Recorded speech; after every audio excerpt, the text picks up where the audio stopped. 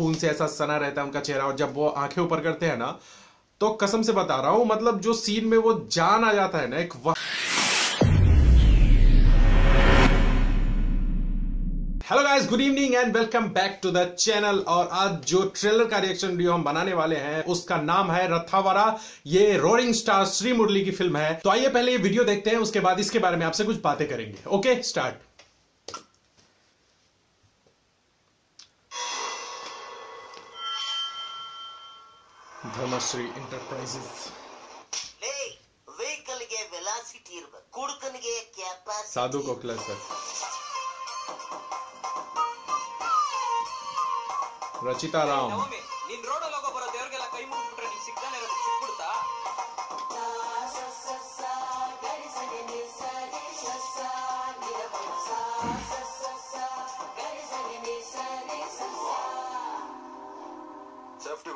ಸೇಫ್ಟಿನೂ ಗೊತ್ತು ಅವ್ರ ಅಪ್ಪನೂ ಗೊತ್ತು. ಚಿಕನ್ನ.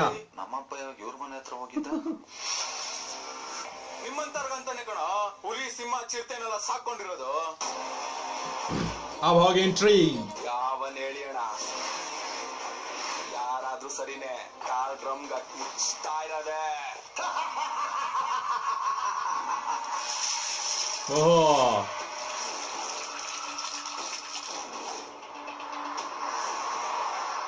ಶಬರಿಮಲೆ ಮಣಿಕಂಠ ಹುಲಿ ಮೇಲೆ ಬರ್ತಾನೆ ಈ ಎಮ್ಮಲ್ಲೆ ಮಣಿಕಂಠ ಎಮ್ಮೆ ಮೇಲೆ ಬರ್ತಾನೆ एम एल ओहो डेढ़ मिनट में एंट्री हो रही है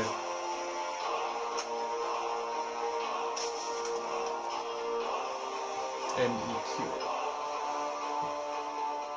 ಎಲ್ಲೋ ನನ್ನ ओहो या ओहो ಈ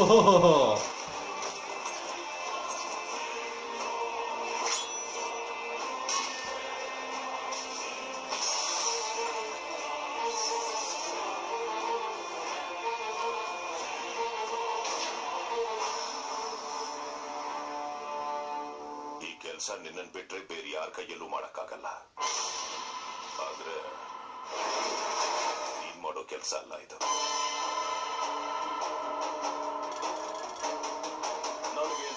ರಿಸರ್ವೇಶನ್ ಇದೆ. ಅದನ್ನ ಇರಿಟೇಷನ್ ಮಾಡಿ ಕ್ರಾಸ್ ಮಾಡಿದ್ರೆ ಯಾವನೇ ಆದ್ರೂ ಸರಿ ಪೊಲೀಸ್ ಮುಟ್ಟ ತಿನ್ನಿಸ್ತಾ ಬಿಡಲ್ಲ. ಹತ್ತೋ ಗಾಡಿ. ಇನ್ವಿಟೇಷನ್ ಇಲ್ಲದೆ ತಿಥಿ ಊಟಕ್ಕೆ ಹೋಗಲ್ಲ ನಾವು. ಇನ್ ವಾರಂಟ್ ಇಲ್ಲದೆ ಪೊಲೀಸ್ ಸ್ಟೇಷನ್ ಬರ್ತೀವ? ನನ್ಗೋಸ್ಕರ ಎಂತೆಂತ ಕೆಲಸ ಮಾಡಿದಾನೆ ಈ ಕೆಲಸ ಮಾಡಲ್ವಾ? ಆಂಖೋ ಮೇ ಡೆಫ್ತ್ ಹೈ ಅದು ಅಷ್ಟು ಸುಲಭವಲ್ಲ ಮಹಾ ಕಷ್ಟ ಸಾಧ್ಯ ಓಹೋ. अरे बाप रे।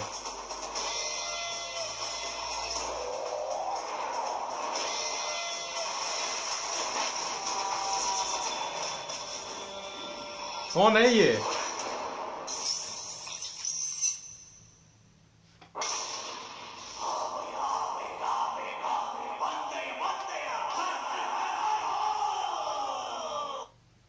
फ्रॉम दिसंबर फोर्थ ओके तो ट्रेलर काफ़ी सुपर था, मज़ा आ गया देख के। मैं बात कर रहा था जैसा कि श्री मुरली के आँखों में जो डेप्थ है ना, वो जब मैं उग्रम का फाइट सीन क्लाइमेक्स का जो फाइट सीन था, उसका रिएक्शन वीडियो बना रहा था तो वहाँ पे भी जो है, एक सीन में जब पूरा खून से ऐसा सना रहता है उनका चेहरा, और जब वो आँखें ऊपर करते हैं ना तो कसम से बता रहा हूँ मतलब जो सीन में वो जान आ जाता है ना, एक वहाँ, इसमें भी दिखा मतलब आप अजय देवगन सर को देखते होंगे, बॉलीवुड के जो एक्टर हैं उनको देखते होंगे। उनकी आँखें जो है ना, वो फ़ेमस है। मतलब वो डायलॉग बोलने की ज़रूरत नहीं है। जब वो आँखें उठाते हैं ना, जब देखते हैं तो कमाल का मतलब जो डेप्थ होता है ना, मुझे सही बताऊँ तो श्री मुरली की आँखों में वही चीज़ मुझे दिखती है। मतलब जो आँखों में एक क्या बताऊँ मैं? वो सीन में जान डाल देता है, वो इसमें भी देखने को मिलता है। ओके तो बात करते हैं फ़िल्म के बारे में। ये 2015 में आई कन्नड़ा लैंग्वेज की एक्शन थ्रिलर फ़िल्म थी। Written and directed by Chandrashekar और इस फ़िल्म के सिनेमाटोग्राफर थे भुवन गौरा, जिन्होंने केजीएफ में भी काम किया हुआ है। और इस फ़िल्म में लीड रोल में है roaring star Shri Murali Rachita Ram P Ravishankar sir, Chikkanna और साधु कोकिला सर। ये फ़िल्म रिलीज़ हुई थी फोर्थ ऑफ़ दिसंबर 2015 को। और इस फ़िल्म की शूटिंग हुई थी बेंगलोर मैंगलोर